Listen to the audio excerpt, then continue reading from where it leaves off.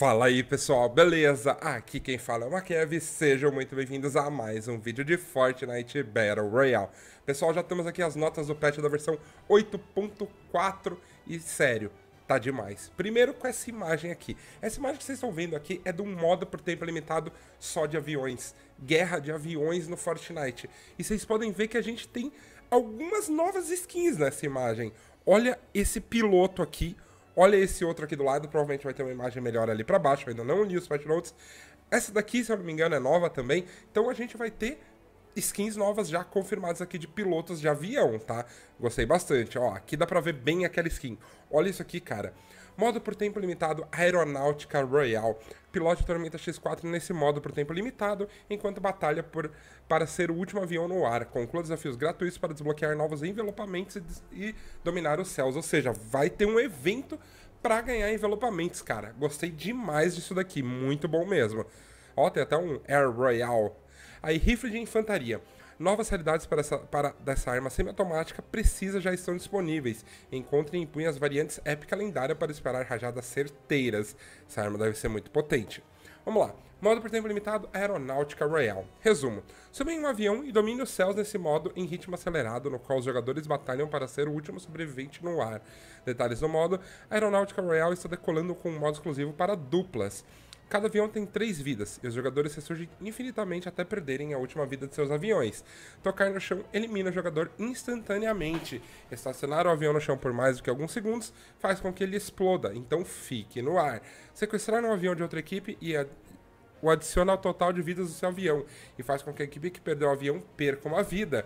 A tempestade tem um teto que é rebaixado gradualmente durante a partida. Cuidado para não voar alto demais no fim do jogo, ou seja, além de vir assim vai baixando também e vai ficando tipo, mano, vai ser legal quando fechar em montanha isso aqui, fica olhando. Baús de saque de cinco raridades diferentes caem do céu, permitindo que os jogadores aprimorem as próprias armas e as armas de seus aviões por um curto período. Caramba, vai ter melhoria. Mano, vai ser muito lindo esse modo. Para receber o conteúdo de um baú, basta atravessá-lo voando. Se o saque de um baú res resultar em uma arma que o jogador já tenha, ou que seja de qualidade inferior, ele receberá munição extra. Baús com armas de qualidade superior substituirão automaticamente a arma de qualidade inferior que estiver sendo usada. Você também encontrará kits de reparo flutuantes.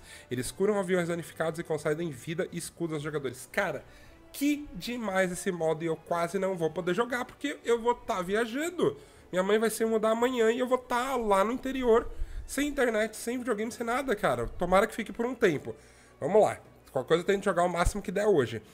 Uh, você também encontrará kits de reparo flutuantes, beleza. Uh, modo por tempo limitado, guerra de comida na fritura.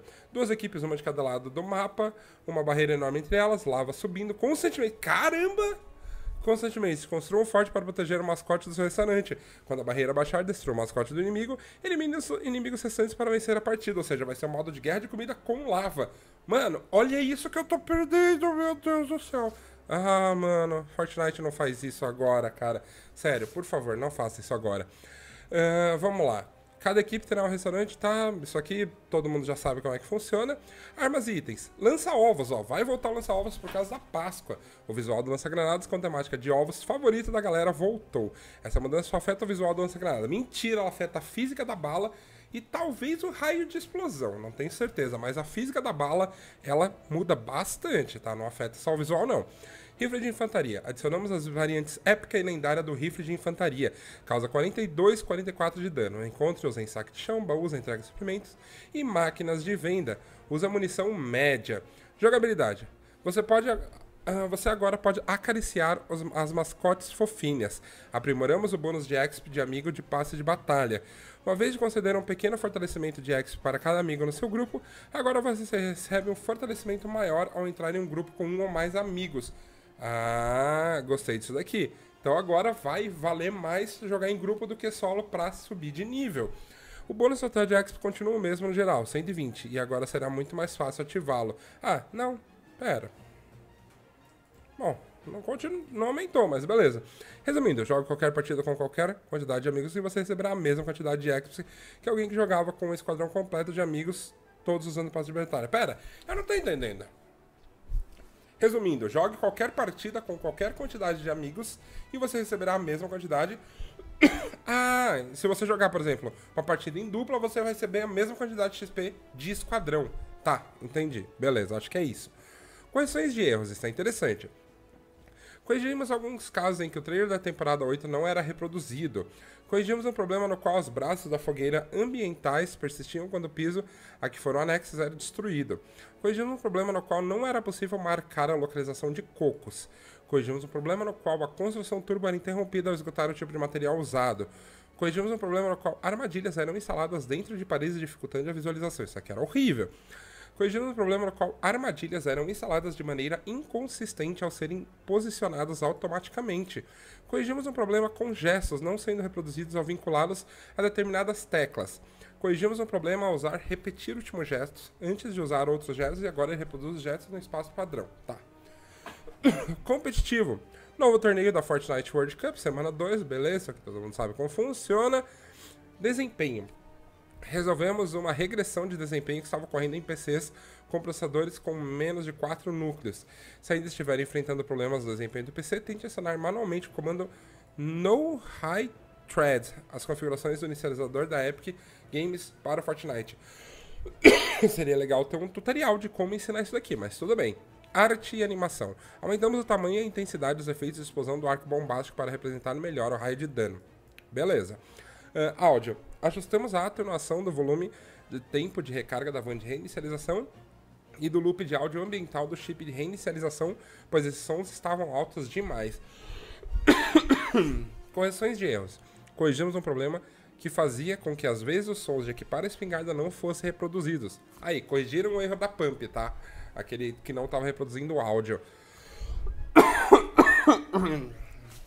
Eu tô com uma tosse porque eu tô no final de gripe, tá, gente? Interface. Copião. Agora, ao abrir a roda de gestos, uma opção aparece ao olhar para outro jogador que esteja reproduzindo um gesto que você tem, permitindo que você reproduza aquele mesmo gesto. Ao ocultar elementos do HUD nas opções, alguns dos elementos agora são recolhidos para liberar espaço, por exemplo, o minimapa. Adicionamos uma opção na interface do HUD para ocultar as dicas de controle de veículos. Correções de erros. A tela de vitória dos mouse por tempo limitado não é mais deslocada nos dispositivos móveis e no Nintendo Switch. Replay. Corrigimos um problema no qual a velocidade do drone não era salva ao rebobinar. Corrigimos um problema que fazia com que a câmera não acompanhasse o vídeo corretamente ao rebobinar replays usando a opção drone anexo. Dispositivo móvel. Autorizamos os controles da bola de hamster nos HUDs padrão e personalizado.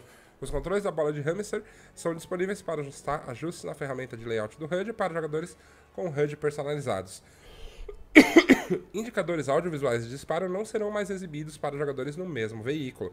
Correções de erros. Corrigimos o problema que fazia o ícone do aplicativo Android ser exibido incorretamente. Corrigimos o problema com bate-papo de voz no modo espectador. Corrigimos o botão apertar para falar que ficava oculto no modo espectador. Corrigimos o problema no qual o correr automático não era ativado em veículos. Corrigimos o problema no qual a descrição do cartão de reinicialização não era exibida. Corrigimos um problema no qual o painel de visão geral da arena não era exibido. Corrigimos um problema no qual o contador de FPS era exibido duas vezes. Caramba, o celular tava um monte de erro. Corrigimos um problema no qual às vezes o ícone de armas não era exibido na barra de favoritos do inventário. Corrigimos um problema no qual texturas apareciam esticadas nas ilhas criativas. Corrigimos um problema que exibia um controle de marca de verificação em determinados comandos de veículos. Corrigimos o problema no qual uma segunda parede de tempestade aparecia no bioma desértico durante o primeiro período de redução. Beleza. Corrigimos o problema no qual alguns baús não podiam ser abertos. Corrigimos o problema em que sinais fracos de Wi-Fi interrompiam o jogo e podiam causar desconexões. Isso daqui devia ser chato pra caramba. Então, basicamente é isso. Modo criativo, tem algumas coisas aqui, ó. Dispositivo explosivo. Ficou mais fácil destruir e demolir com o dispositivo explosivo já no modo criativo. Personalização da tabela de pontuação. Gostei disso aqui, legal.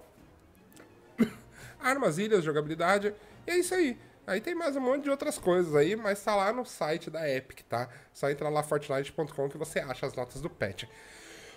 então é isso aí, tô bem ansioso pra isso aqui. Eu vou testar esse modo assim que ele sair, porque deve ser muito incrível.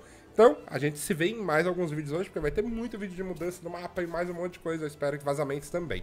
Então, é isso aí, eu vou ficando por aqui. Espero que tenham gostado do vídeo. E se gostaram, não esqueça de deixar o seu gostei, inscrever no canal, compartilhe o vídeo e até a próxima. Valeu e falou!